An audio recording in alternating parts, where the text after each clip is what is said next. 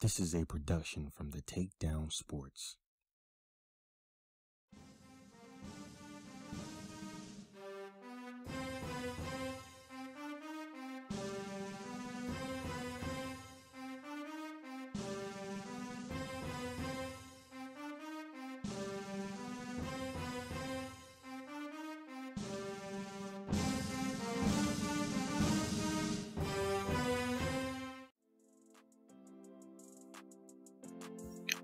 What's up, y'all? See Brown 31 here, along with J Bot the Great. This is another episode of The Last Word.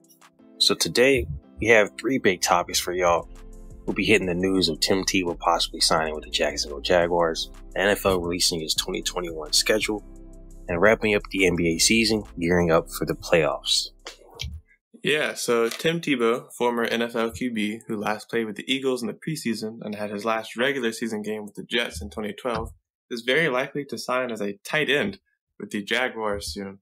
Uh, nothing is confirmed yet, but things are very heavily trending in that direction. He's worked out with the Jaguars as a tight end, and uh, they seem, according to some reports, very likely to sign him. And it's it's quite a controversial move. Uh, what are you, what are your thoughts on? it? I, I really, so when I first saw the news initially that he was possibly going to try to be a tight end, I was like, all right, this is a, you know, end of show kind of thing that they just throw in. It's just some random stuff. He's not actually going to sign or anything, right? And then a few days later, you see, oh yeah, he's he's going to be brought in with the Jacksonville Jaguars to be a tight end. This is complete nonsense.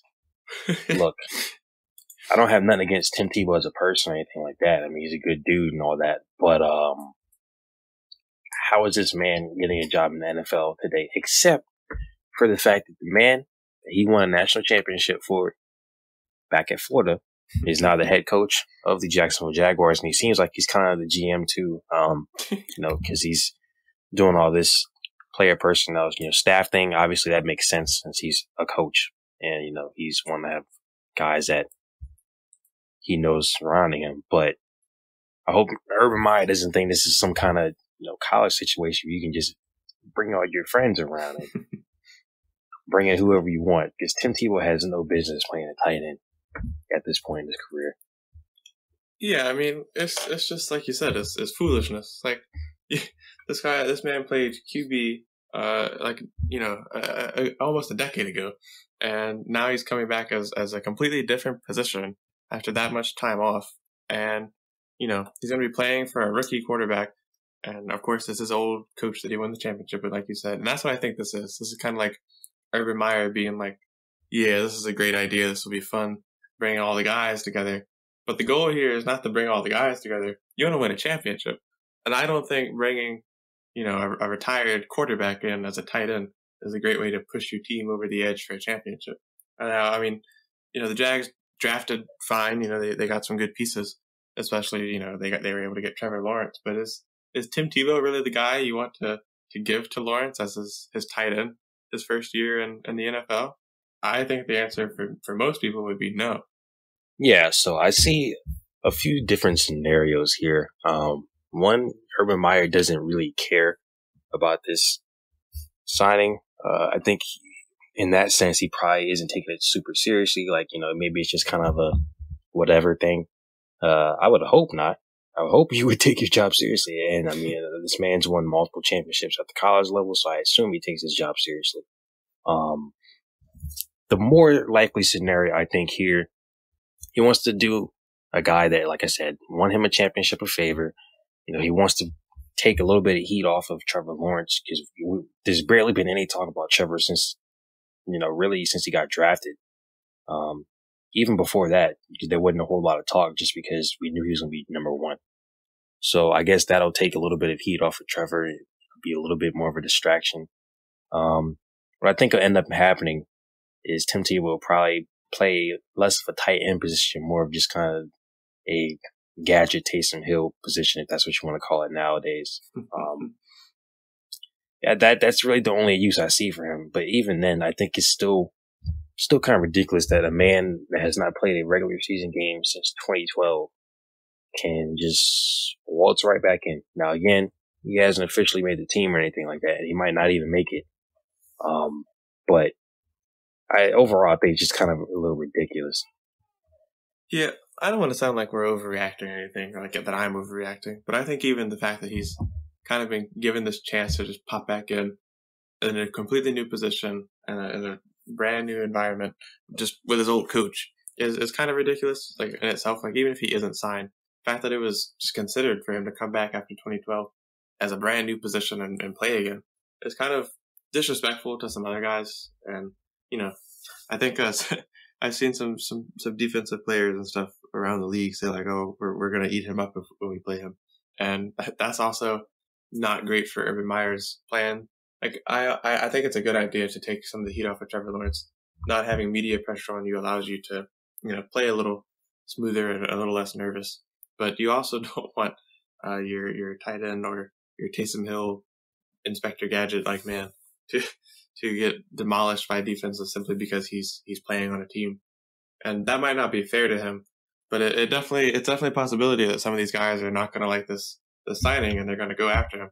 And I mean, if he's an offensive player coming out a defensive player, they have every right to you know tackle him within the the boundaries of the game. Obviously, don't target him or you know try to eradicate the man from existence. But it, it, it could it could lead to some rough situations for the Jaguars that Urban Meyer may not have have uh, expected to come out of it, which also may affect his signing because, like like we said, he's not signed yet, and so this this backlash may even push Urban Meyer in the opposite direction. We, we're yet to see. That's true, but I, Urban doesn't really strike me as the type of guy that's really going to care. I mean, the fact that they're even doing this in the first place, you know, I, shows that they don't really care. Um, the the point that you made about defensive players coming out and saying, "Yo, we're gonna kill this dude," not literally, of course, but you know, they're gonna clock him. You know, as you said, if he's an offensive player and he has a ball in his hands, I mean that's that's just a thing. Now, I don't think there's a perception among players. There shouldn't be a perception among players that they are just absolutely disgusted by Tim Tebow being in the league. Like it doesn't bother my soul that much. I don't think it bothers the players' souls that much. I think it's just more of an annoying thing because it's like how how can a guy that hasn't played since 2012, as we said, he wasn't really good last time we saw him um, with the Jets, and then he did play in the preseason with the Eagles in 2015, as mentioned earlier. But last time we saw him, he wasn't really good. You, it's just you can't take that much of a layoff from football. I mean, you think about the guys that have taken breaks and come back to sports. Michael Jordan is one of the greatest players to ever step foot on a basketball court. Many people say he's the greatest. That's your, you know, if you want to argue that, go ahead. But Michael Jordan is one of the greatest players. And he took like two years off and then came back. And he was fine.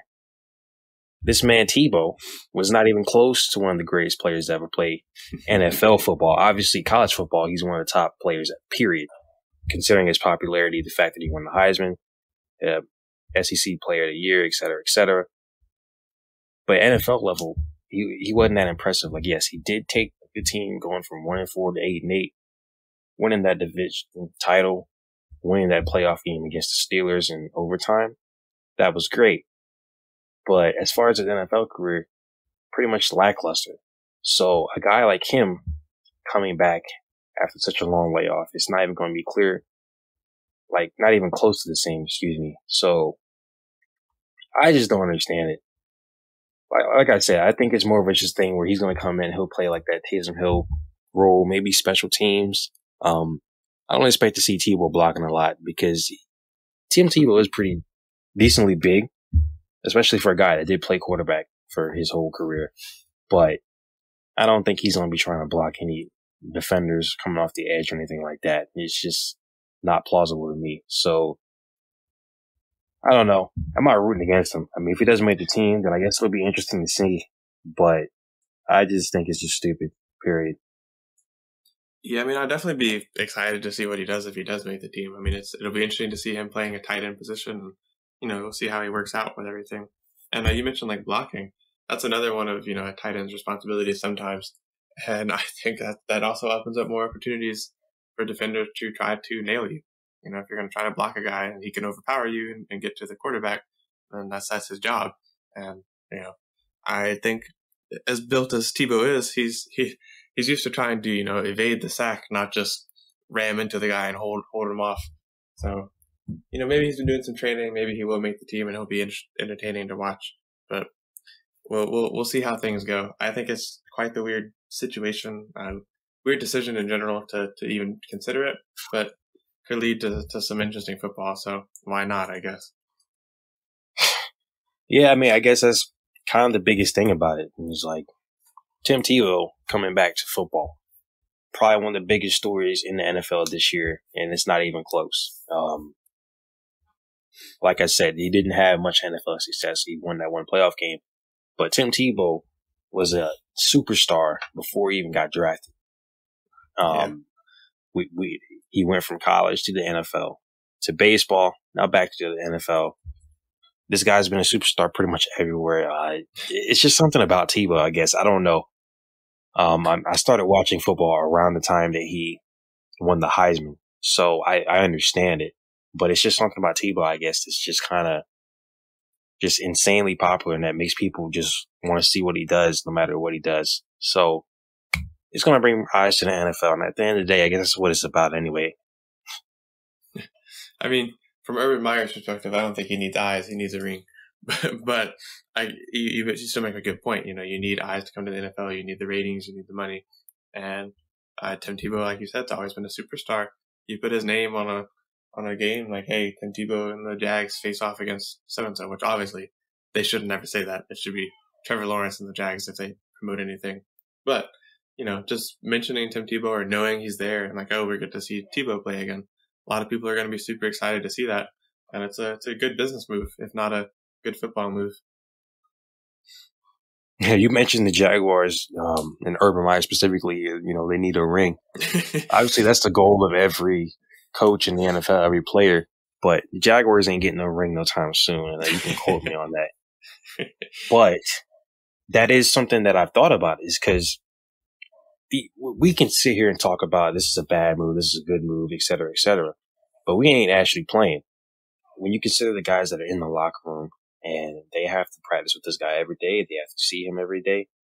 Um, then it kind of thinks like, hey, does Urban Meyer, our coach, supposed to have our best interest in mind. Does he really? Does he know what he's doing? Um, and locker room chemistry is incredibly important in sports, and you can't say otherwise. So, like I say, I don't think it hurts these players' souls or anything, but I think it kind of just, I would be a little bit off put and like, okay, why are you, why are you messing around trying to sign Tim Tebow? Like it's, there's this idea that a lot of the players are going to automatically look up to Tebow. Eh, I don't really feel that. Like I understand, like I said, Tebow was an icon in football, but there are dudes that are ten years younger than Tebow that have played the same amount of NFL games that he has. so in that sense, I mean, it's I don't think Tebow's gonna come in and just be like this locker room leader or something like that. I, I just don't see that at all. Yeah, to your point here, I think that's a great, great uh, thing. Like so you bring this guy in, and, and you're going to have your team kind of question, like, all right, does coach really have what's best for us in mind here when he brings this this old quarterback in as our new tight end? And then, you know, being a, a role model, sure, he might have like, you know, the old I'm an old superstar kind of like, you know, I, I that, that kind of presence, which helps a little bit, but it, it definitely doesn't add into role modeling.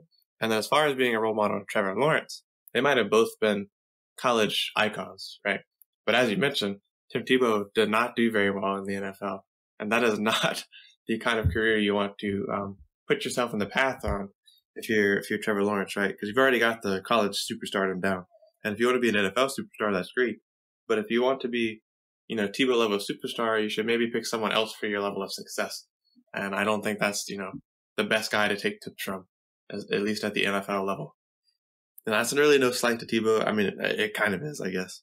But but I just I'm not sure he's going to be the best locker room presence or even the best, you know, kind of veteran build up role model. Something like Jimmy Garoppolo might, might be to Trey Lance. You know, he's not going to be able to guide this guy uh, uh, as great as, as people may think he can because he himself didn't really get anywhere in the NFL.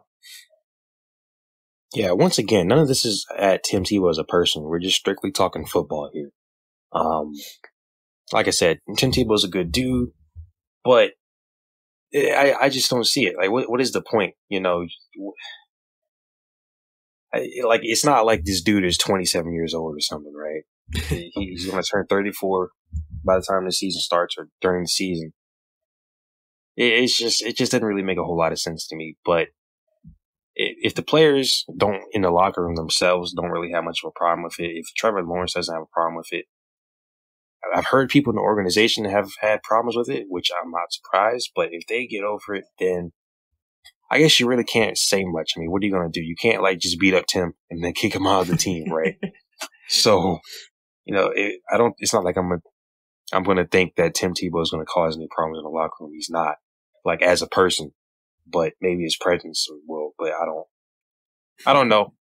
Considering the fact that Jaguars don't have that many veterans and that many guys that have been on winning teams in the first place, maybe they can kind of put Tebow in a position where he's like, you know, maybe even though I'm not a guy that has won a whole lot in the NFL, obviously, and hasn't had much of a career, I can at least give you some advice just being a 33, 34 year old man.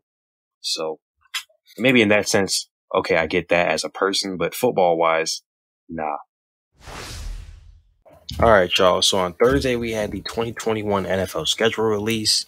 Um, obviously, this year it's a little bit different because we have an extra week of games. We're going from 16 to 17. So, obviously, 17 weeks to 18 weeks. So, I'm all for the extra football.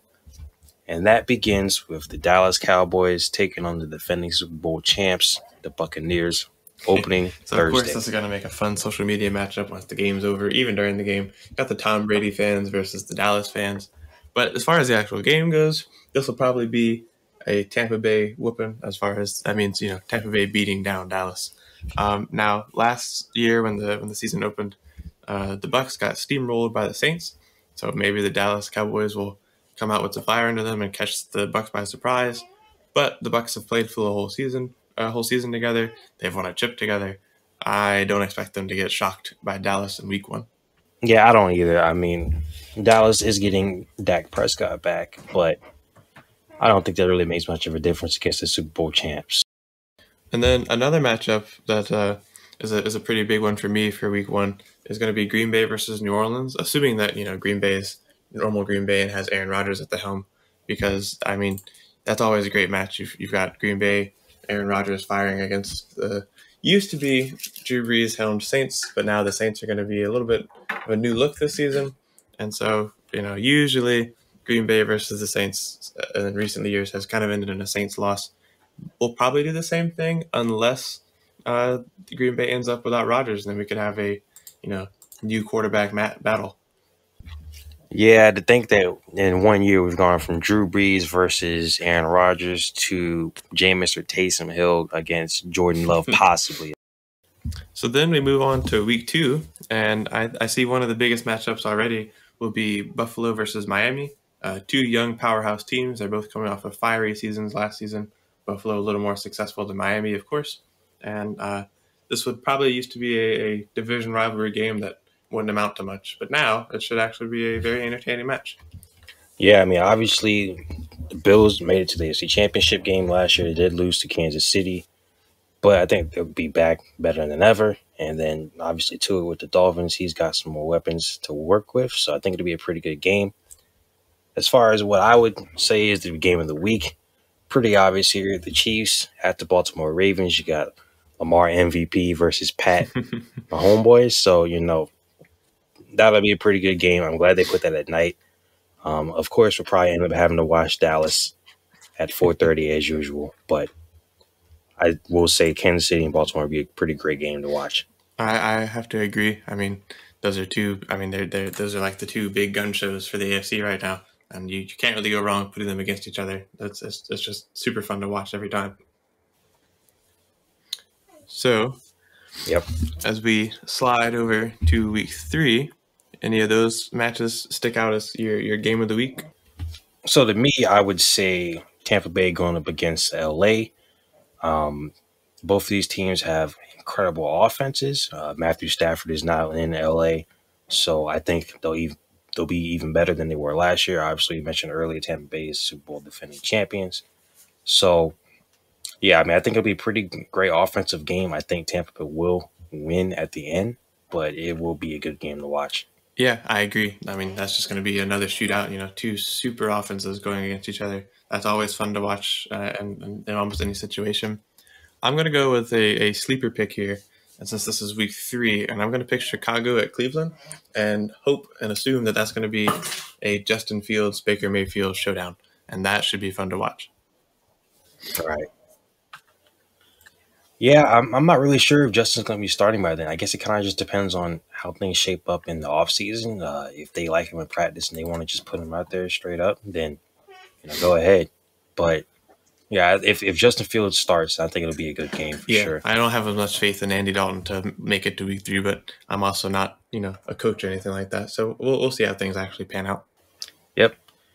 So now moving into week four, I would say the game that I'm looking at right now is Seattle going up against the 49ers. The 49ers should be at full strength. Uh, hopefully, they don't have any injuries like they did last year. Um, Seattle, they're going to be coming back. Uh, they definitely had to improve in the offseason because after their collapse last year, um, we may see Trey Lance. I doubt it, but either way, it'll be a good game. Yeah, I mean, seeing Trey Lance would be fun, but I think even with with Jimmy G at the helm, that's going to be a fun one to watch, no matter what. You know, once again, you've got two super good teams that have made it to some pretty high levels recently, and they'll they'll definitely be battling it out. Now, I, you know, won't mind watching a Carolina Dallas game this year. It, it, those are usually pretty fun games, but I don't think we can ignore the Tampa Bay New England game as Brady makes his return to New England. May not be the best game, but it'll definitely be a big Yep. show.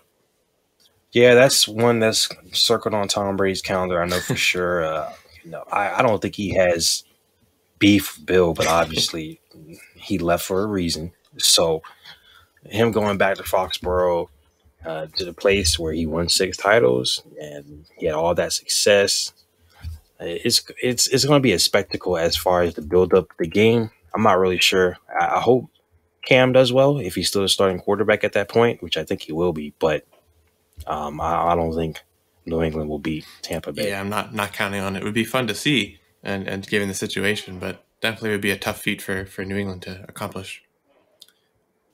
Now, as we get into Week Five, I think honestly the Thursday night game is going to be probably my favorite game of that week, as we get the Rams versus Seattle.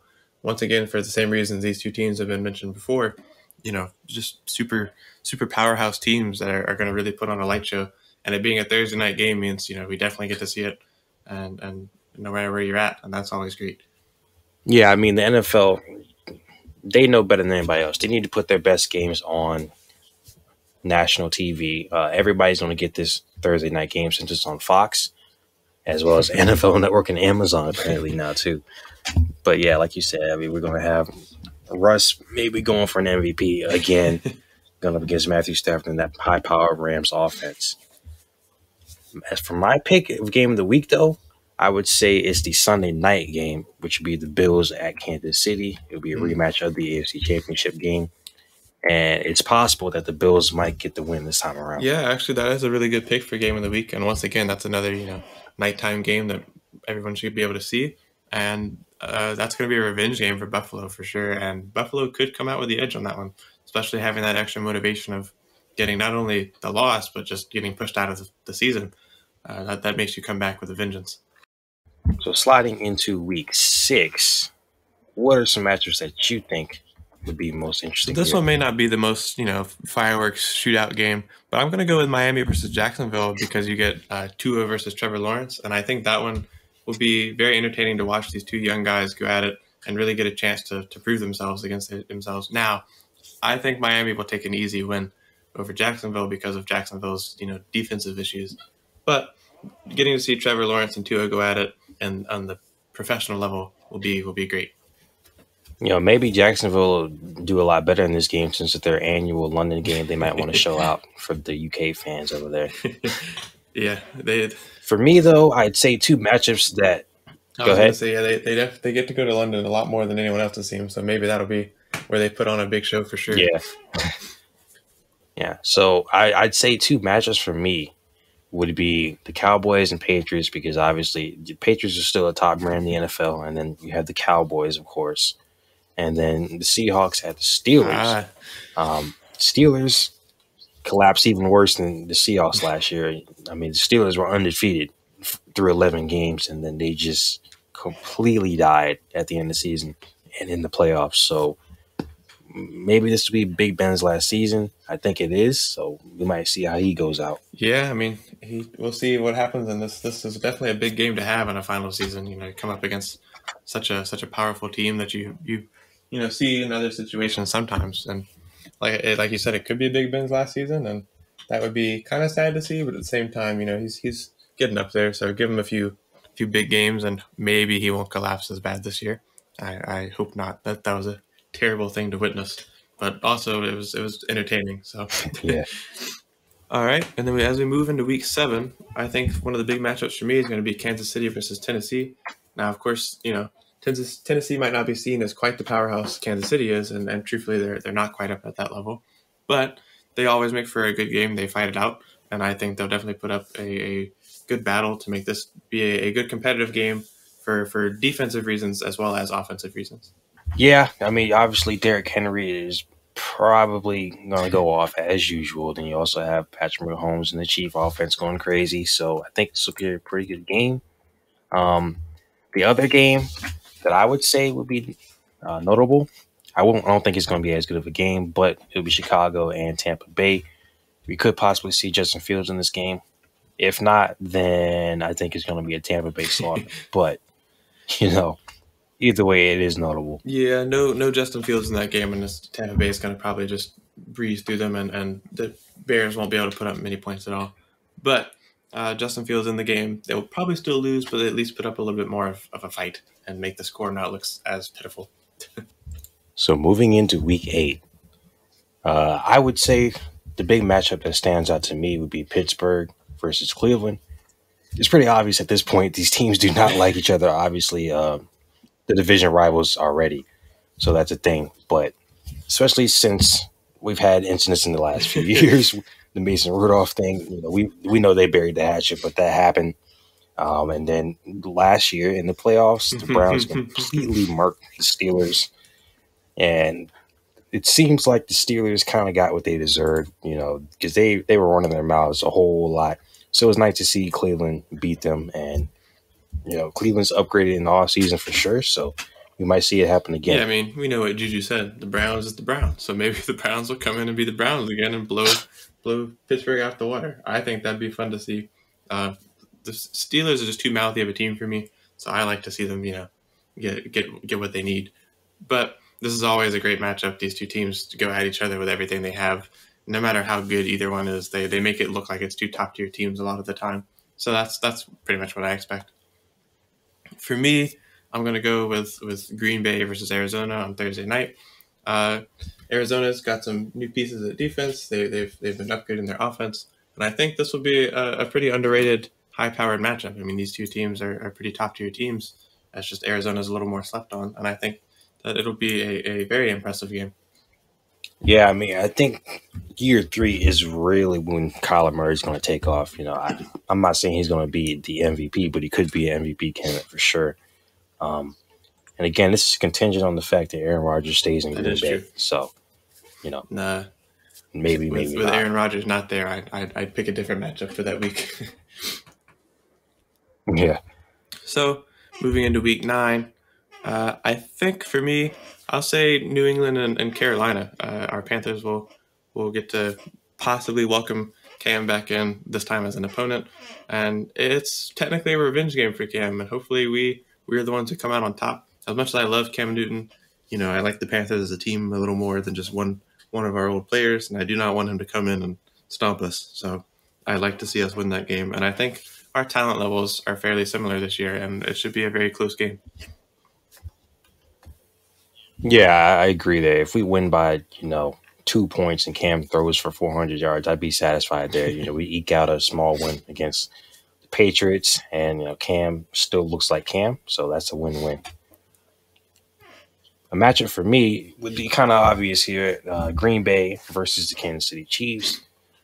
You pretty much got Aaron Rodgers, the prototype of what Patrick Mahomes is now. So, you know, you got that matchup there. Uh, these guys won two of the last three MVPs. Uh, these teams are high powered offenses. Uh, Kansas City definitely has a lot better of a defense for sure. Uh, Green Bay didn't improve in the offseason, but still. But this is definitely going to be a great game. Yeah, I mean, once again, you got these two super offenses coming at each other, contingent on you know Aaron Rodgers being in Green Bay, and you know two two previous MVPs coming at each other, two very recent MVPs at that, and it's it, you can call it the State Farm game as well if you want to, but it, it should be a, a very fun game. Yep. So that'll be it for us going through the schedule. Um, we only wanted to do about half of the schedule because going through all 18 weeks would take about an hour. you know, if we wanted to analyze every single matchup. So, like with the draft, we only did about half of the first round. So here we're doing half of the schedule.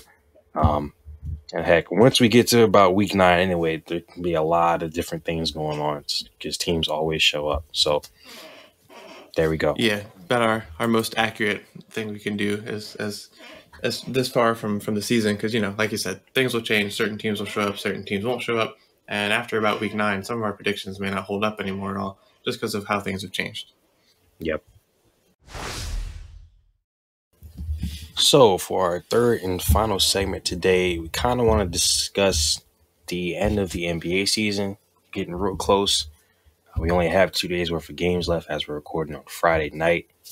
Um, and then the play in will be pretty soon after that, and the playoffs will start. So we wanted to just discuss, you know, standings, who will be in the play-in games, some predictions, these last few games. Yeah, so of course, Terrence mentioned we've got the play-in coming up. They come up short, shortly after the end of the regular season. They start May 18th, and right now in the Eastern Conference, uh, things are a little more locked up. All of the playoff spots are, are, are locked in. The Sixers, Nets, Bucks, Hawks, Heat, and Knicks in that order have locked up a playoff spot. And then the Celtics, Hornets, and Pacers are certified to be in a play-in spot. And the, the pretty much the Wizards and Bulls seem to be the ones battling out for uh, for, for that, that, that last play-in spot. Everyone else in the East has been eliminated. Moving to the West, things are a little more up in the air. The Jazz, Suns, Clippers, and Nuggets have hooked up a a, a playoff spot. But then the Mavericks, Trailblazers, and Lakers are kind of going to see in these last two games who ends up locking up the two playoff spots and who ends up in the seventh seed, which puts you at the play in spot. And the Warriors, Grizzlies, and Spurs have those other three play in spots, while the Pelicans, Kings, Timberwolves, and Thunder, Rockets are gone. They're they're done for the season. Not not like they have regular season games left, but we won't be really seeing any of them. Yeah, so I want to pose a quick question here. So if everything stays the same, let's go to the Western Conference first. Okay. So if we, the standings stay the same as they are right now, with the Lakers, Warriors, Grizzlies, and Spurs being in the play-in, how do you see those matchups playing out? So with how the play-in tournament works, that of course puts the Lakers versus Warriors, which is a very exciting matchup. Now, fully healthy Lakers should take the Warriors easy, as you know, Steph and his his merry band of, of goons here uh, as the Warriors are definitely not at full strength. So I would say the Lakers should take that, and then the Grizzlies and Spurs. Grizzlies might have the the the you know seating advantage, but I think the Spurs Spurs could take them, kind of surprise them a little bit, and then you know as the play-in tournament moves a little weird, that would in that scenario we'd have the Spurs versus Warriors, and then it just depends on who wants it more, Demar or Steph. And from there, I think the Warriors could take it or the Spurs could take it. It's, it's very 50 50 if that's the matchup we get. What do you think? So if things stand now, I think the Lakers would beat the Warriors in the play-in game if LeBron and AD are both there and on top of their game. Um, I don't think Steph and his band of goons will be enough. Uh, I think the Grizzlies would beat the Spurs, but it's kind of a toss up there. Um, so let's just say this: the Grizzlies advance there. Um, they would go on to play the Warriors. I think Steph would will the Warriors to win, and then it'll pretty much end up like it is now. Lakers at seven, Warriors at eight, and in that situ- situation there, um, the Warriors will be going up against the Jazz in the first round. The Lakers be going up against the Suns if things stay the same way. Um, in that case, I don't see the Warriors beating the Jazz, but the Lakers could very well beat the Suns at full strength for sure. Yeah, so in both of our scenarios, you have the Warriors at eight. Mine would be the Spurs are at eight. Um, the Spurs nor the Warriors are beating the Jazz in a seven game series. So let's let's just that that kind of fizzles out and it makes that little tournament kind of pointless. But the Lakers against the Suns, the Lakers have a huge chance to take the Suns.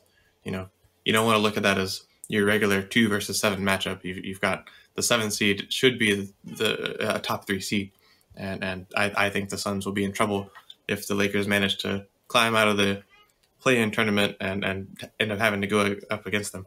So that would suck for the Suns, but be a great scenario for the Lakers, who I think know that they could take the Suns. Yeah. Now, with that being said, we could see some movement, and the Lakers might not even end up playing in the play-in in the first place. We could see the Mavericks down there, um, or the Trailblazers. Um, the Lakers do play on Saturday, and then we have the Grizzlies and Warriors actually playing on Sunday. So we could definitely see some movement there. The Mavericks also do play on Sunday. Um, so, you know, anything can really happen to end this season here. So we, we may see a scenario where the Lakers end up being the sixth seed, and we have Dame and the Trailblazers going up against the Warriors. So that might be an interesting matchup there. Yeah, honestly, in my opinion, if the Mavericks or, or Trailblazers end up in that play-in spot and they end up doing the same thing the Lakers do, where they still keep the seventh seed, they can't face the Suns in a seven game series. So they're safer by staying where they're at and not having to go through that play in gauntlet. I, at least in my opinion, I don't think they can hold up against the Suns as well as the Lakers can. Like I said, the Lakers should be a top three seed. And so them getting to that play in, in tournament is a little sneaky, you know, to get to face off against somebody like that uh, as a quote unquote upset, whereas the Mavericks and Trailblazers would actually be needing to pull off a big upset to, to beat the Suns. Yeah. On the flip side of that, the Lakers being the six seed, that would put them up against the Clippers, more likely than not, at the three seed. And this is the matchup that everybody was expecting in the Western Conference Final last year. Um, obviously, the Clippers didn't hold up their end of the bargain there. But now it's kind of an interesting scenario. We have the Clippers at three, and then the Lakers down at six. But again, if the Lakers are at full strength, then you know this matchup can go either way. Yeah, I mean, I don't trust the Clippers in a playoff situation, so I'd say if the Battle of LA was to happen in the first round, that the Clippers are going home. But they could surprise me. You know, Kawhi can come out on fire. Um, playoff Paul could be actual playoff Paul and and not pandemic Paul. Um, so we'll have to see how that goes. I would give the edge to the Lakers against the Clippers in a seven game series, but I think the Clippers shouldn't really be underestimated. I mean, they're they're still the Clippers. They're a great team. You've got to come at them with everything you've got. You you can't you know let them slip against you, but they have to keep that mindset too because they kind of let the Nuggets you know oh we got them on a three one and then that that didn't work too well for them. So uh, just got to not put themselves in that kind of position again. Yep. So moving over to the Eastern Conference with how those things look. Now, the play-in tournaments are pretty much set. The only thing is going to be who gets that 10th seed. So, as things are now, what are your predictions as, as what the final playoff implications will be? Yeah, so I don't see the Wizards losing that 10 spot. Uh, Westbrook and Beal um, have willed that team to the 10 spot. um, now, they would face off against the Pacers. That one, you know, neither of those teams really deserve to be anywhere near the playoffs. uh, but you know, either way, that matchup can go either way. Like I said, um, and then the Celtics and the Hornets. That is an interesting matchup. The Celtics have definitely underachieved by a big margin this year. Um, Brown is now out too, so that's a minus there. But I don't think any of these four teams whoever makes it to the seven or eight spot, they're not winning in the first rounds against either the 76ers, the Nets, or the Bucks. So it doesn't really matter either way. Yeah, I was gonna say as it stands, you know, whoever makes that the seventh, eighth seed is gonna end up playing either the Sixers, Nets, or Bucks, and none of those guys are gonna make it against it. But just to give kind of what my rundown I think would be, I'm gonna assume that the Wizards make it for the tenth spot.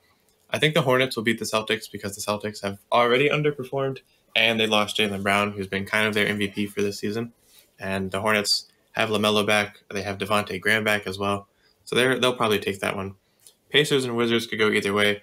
Uh, I think Westbrook will probably catch fire and come out of that. But in, in the end, you know, once the Hornets have to go up against like the Sixers, or once they have to go up against the Nets, or the Wizards go up against the Sixers or Nets or Bucks, if the Bucks end up making it to two, they're not getting through that. And so while this one is more locked up over here already, there's no inner movement w- between who might lock up a playoff spot. Uh, it, it is also more locked in of who's who's getting out of the first round because the lower Eastern teams, while while flashy and fun to watch, such as you know the Hornets and Wizards, they're not going to be beating the Nets, Sixers, Bucks. Really, not even the Hawks, Heat, or Knicks. I don't see it see it happening. Yeah, I mean, let's say the Hornets get that seven seed and the Nets stay where they are, and the Nets decide to bring out the big three. Sweet. In the first round, it sweet, like they're done. It's not even going to be a competition in that sense. Um, no, no knock against the Hornets, but come on, uh, yeah. you got three, you got three guys that are in the top ten in the NBA. Um, so it's, it's just not going to be close. We got to stop fooling around too. Uh, James Harden is, is a good defender, especially against other guards, uh, and he even was was pretty good de- defending against Giannis in some games.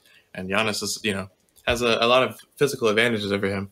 So you know putting the, like uh, LaMelo Ball and Devonte Graham and Terry Rozier up against people like Harden or KD and stuff, it's it's stop it. They're getting swept. Yeah, and then the other matchup, let's say the Pacers, they get that eight seed and they go up against the Sixers, that's going to be after there too. So, yeah, you know, like we said, either way, it, it, doesn't really matter who gets those bottom seeds. Um, that's kind of unfortunate with the Eastern Conference, man. It's just it, it really don't even matter who gets those last seeds. You're not going to see any scenario where bottom seed is going to beat one of those top teams. Yeah, I mean, like in the West, you have like you know some teams that are pretty much they're at the bottom; they're not going to make it but there's a little more of a chance in the East. It just kind of seems like these powerhouse teams like the Sixers, Nets, and Bucks, uh, they're just like titans to people like the the this current year's Celtics, Hornets, and, and Pacers. So it's just just kind of sad to see these these teams going to go through a lot of work in the play-in tournament and probably get bounced and by and it, it just gets swept. Not even like a you know a rough battle out bounce. Just just no chance. So especially if the Celtics do happen to win that play-in game and then have to face these other bigger teams without Jaylen Brown, they're gone. Yeah. So while we're still on it, what's your overall opinion of the play-in tournament? Because I've seen a lot of people really love it because it's forcing these teams to actually care about the end of the regular season here. They can't just phone it in. Um, and I see a lot of people don't like it because it's unnecessary or they think that these teams that are like nine or ten seed, they shouldn't even get the opportunity to be in the playoffs in the first place. So, what do you think? I'm gonna put myself, I guess, kind of in the middle ground. I also like it because a lot of regular season NBA they kind of just don't care about, and this gives them a little bit more of a reason to because you don't want to slip into a play-in situation and then get bounced. Because one thing we didn't discuss is that the Lakers could end up losing out of the play-in tournament and then straight up not make the playoffs, and I mean that'd be terrible for a lot of reasons, and that's another criticism against it because you've got these big teams. Like I'm a Bucks fan. If the Bucks this year were to have some injuries and end up falling to seven, and then get bounced out of the play-in tournament because of you know just chemistry issues from trying to all come back from a bunch of injuries, I probably wouldn't be, a big fan of the play-in tournament since we would have earned our playoff spot and then got it snatched. Uh, so there's a lot of ways to look at it. I think the pressure on the regular season is nice. You know, you want to have at least a decent record, but also having a nine and ten seed, like everyone's fighting to have a good record, right? So the seven and eight seed fought harder than the nine and ten seed. So why should they get a chance at the play-in tournament? And I, I, I get that. So it, I see it as as almost a necessary evil, but at the same time, just straight up unnecessary. It's just really hard to gauge. Uh, it's it's such a weird and like new concept. It's, it's pretty difficult to form a good opinion on it. I guess after it happens, I'll, I'll, I'll see how I like how it. If if the games are entertaining enough, you know, if it sets these teams on fire and, and gives them a big game to play play, that'd be great. I mean, I'm down for watching essentially pseudo playoff basketball. I'm, that's cool with me. But it's got to be at least be good games to, to to kind of rationalize in my head that okay, this is worth it. Yeah, I kind of agree with most of what you said there. I hadn't even really thought much about the scenario where the Lakers could just completely miss the playoffs if they lose, you know, to the Warriors and then probably the Grizzlies. Um, it, that would be a pretty unreal scenario because I, I couldn't see that happening if LeBron's back. you know, maybe they get caught against the Warriors, but that second game, I, I just couldn't imagine them losing. Um, the the amount of insanity that would happen in the NBA media would be astronomical, and to say the least. So, but that is a very real scenario. You can't just sit around and think that you're gonna just cruise into the playoffs. But on the flip side, you know, like you said, these teams worked a lot harder to get to the playoffs. Uh, obviously, the Lakers wouldn't even be down at the bottom had they had LeBron for most of the time. So it wouldn't it just wouldn't seem right, you know, for a team like the Spurs to get in, or at least not. I wouldn't say the Spurs because at least they're decent as far as record wise, you know, in comparison to the, the Wizards and the Bulls. But still, it, it it does seem a little weird there. Um, I don't think it should continue after this season. I think it was okay for the bubble, um, and then for this season because it's it's a COVID shortened season. But after this, just go back to playing regular basketball. If you want to change the playoff format, then you can just do the top 16 teams like a lot of people have wanted. But yeah. having a playoff play in tournament every single year, I don't think that's really necessary. I um you make a good point there. I'm gonna say like, you know, last year with the bubble, it helped some of those teams that might have gotten thwarted, uh, trying to fight back in. And this year you got a little less time. You don't have those those last ten games, so the play in tournament gives you a way to make up for that. But when we're back to playing 82 games a season, like 72 is already a lot. But when you go back to playing 82 games, you don't want to go play in a play-in tournament after you've thought you've earned a playoff spot as even just a seventh or eighth seed, because you might not win, but you still get to say you made the playoffs and you, you fought hard to get a good record, get a good enough record to make it there, and not just you you know you end up in a playoff play-in tournament and you could end up scrambling your luck because you just played 82 games, you're going to be tired. So it's it's does not need to continue, and unless they know everything just happens to be spectacular this season. But there's already a lot of backlash coming to it before it even happens. So I can't really see, you know, a, a good situation where where they come back. Yeah, and I guarantee if the Lakers somehow do miss the playoffs and now in real scenario, that they not doing it again. It's That's for sure. Shannon Sharpe will personally make sure that it ends yeah, like the league will be shut down before they ever do that again. So, um, yeah, great, good idea for this year, but do not keep it beyond that. Yeah, I, I, I agree. So, that'll be it for this episode, guys. Um, as you can see, we're clearly doing a little bit different format for each episode here. You know, we're kind of just changing with the flow, but regardless, we're still going to bring hard hitting sports content every single week. That is something that won't change. So, with that being said, this has been T Brown 31 with J Bot the Great. Like, comment, subscribe as always. We'll see y'all later.